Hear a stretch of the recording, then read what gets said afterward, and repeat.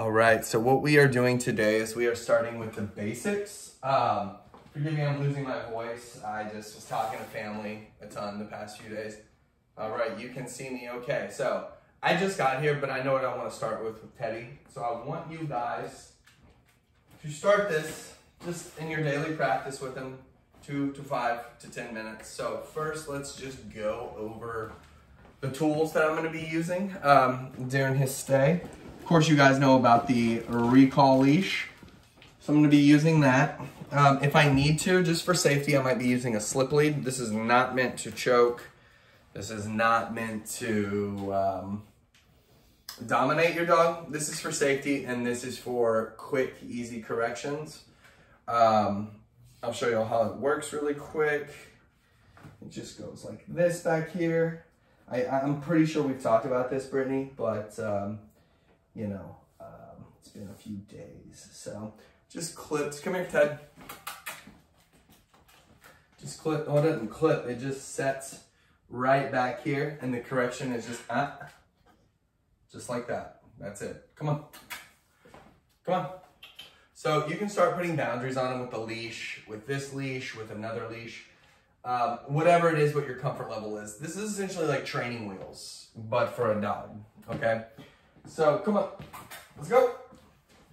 And then Cameron, like you said, when you give him that extra little push to go in the crate, that's what this is used for too. Come on, good.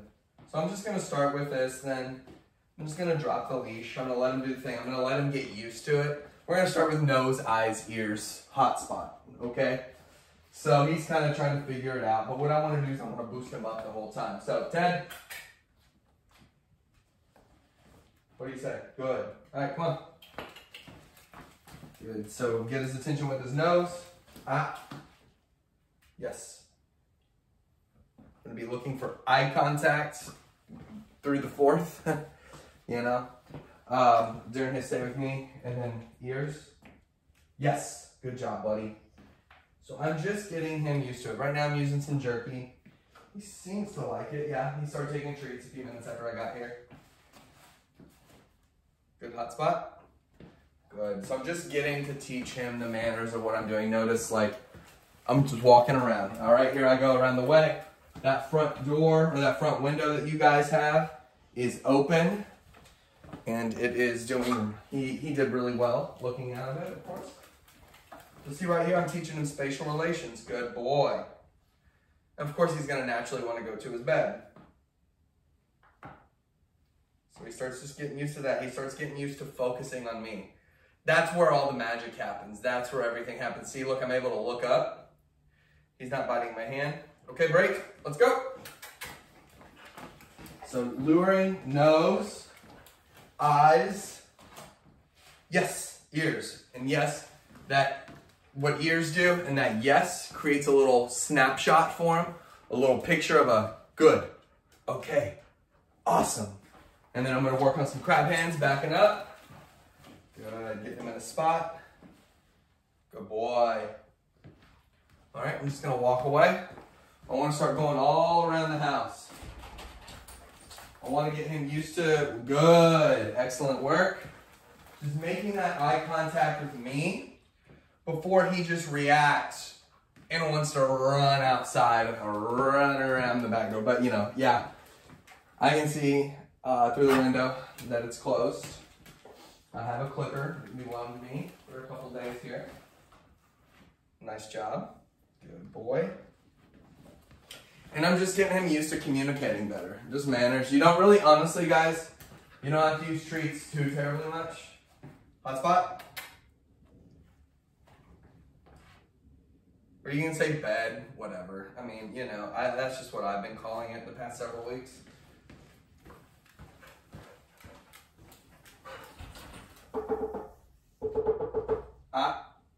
We're gonna work on door manners another time, but I'm just kind of hinting at it. A lot of this going on. There he is. All right, come on, go to your spot. Ah. So he jumped upon the windowsill. We're gonna give him an off. Good boy. Let him know what my boundaries are right there. and keeping him sequestered to my box, to my bubble. So see, ah, ah, ah. Because I don't want him to be trying to get ahead of me. I see this so much with dogs. Like how he's trying to lead me outside to the yard. No, come on. See, I didn't even have to do anything. Good boy. and he's already starting on touch targeting. He's got such a funny face. I love it. It's so cute. Come on.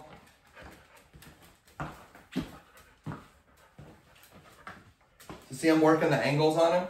Good. So nose. Get his attention with his nose, his eyes. Yes.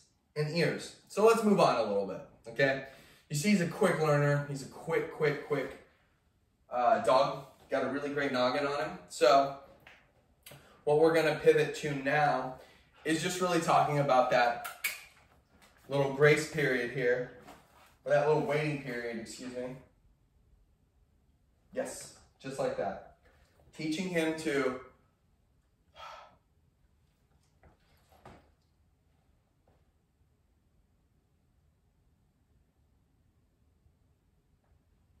make him wait.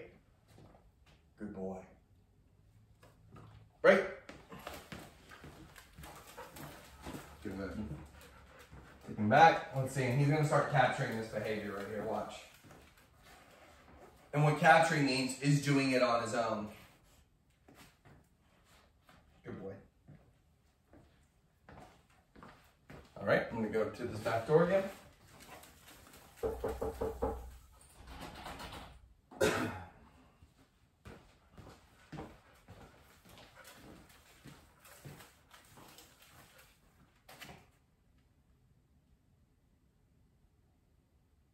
I'm for is that eye contact. So I'm to solicit it. Good. And what I mean by soliciting eye contact, it's going to be kind of just looking for it around the house.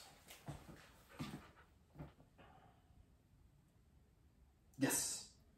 Good. He just kind of look at my forehead. Kind of, kind of looked at me uh, like that while he's not really moving his head too much. Good. So now let's take this off here for these last couple minutes. Notice I barely even had to use it with him. Um, but it, it's really for safety, okay? It's not to be a butthead at all. You know, I just, I don't want people to get the wrong idea with these things right here. It's an amazing tool. You can even use one of these. There you go. There you go, guy. Yeah, nice job, buddy. Nice job. So, this is what I do a lot. I let him be a dog, but I know how to find my moments so he can have fun. Good. And he's over here solving problems, being cool. I just gave him a ball to play with. So, you know, essentially what I want him to be doing now, you know, and you're going to see me using tugs as a reward. Okay. Ball, treat, affection, hand targeting lots of different ways that he can start to communicate with us, okay? And start to find reward rather than just a treat, you know? And he, he's still learning, as you guys know. He's still developing, like he just went under this table and knocked over your sweet potatoes. Um, stuff like that. So he's progressing. He's gonna still be progressing after this board and train scenario. But what we are working on is that impulse control that kind of stuff. Him responding to that. Hey, staying in my bubble. Good job, kiddo. Good boy. Making it very low threshold, very low stakes, so that he's starting to learn and level up each day. That's the goal. Tomorrow is going to be working on some stuff in your backyard. We're going to have more sun all day, so we're going to let that all that water dry up that we got over the past few days. And then we're gonna start going out there, maybe even your driveway. I'm gonna be like pretty much like triple leashing him. Um, for that, I'm gonna be, you know, having him on his harness. I'm gonna have him on the slip lead, and I may even have him on a recall leash because he won't be able to get in front of me. So, um, so let's, yeah, yeah, yeah, yeah, yeah, good. Good. So see, finding a motivator, just like that. Good boy. And I've kind of lost the power of my voice over these past couple days. So um, I've got to find some different teaching tools. But we're 10 minutes in. I'm going to send you guys this via text. Um, if you ever have any questions about these videos, like let me know. I can always add to them. I'm sure I left a couple of things out. But for him, this is what I'm happy seeing. This is what we're working on today while I'm here. Um, I don't have any plans. I'm going to watch some World Cup. Hang out with him, grab some food, chill. It's going to be great. So, thank you guys. I love them to pieces already. And um, it's going to be a great few days. Um, so, take care. Bye bye.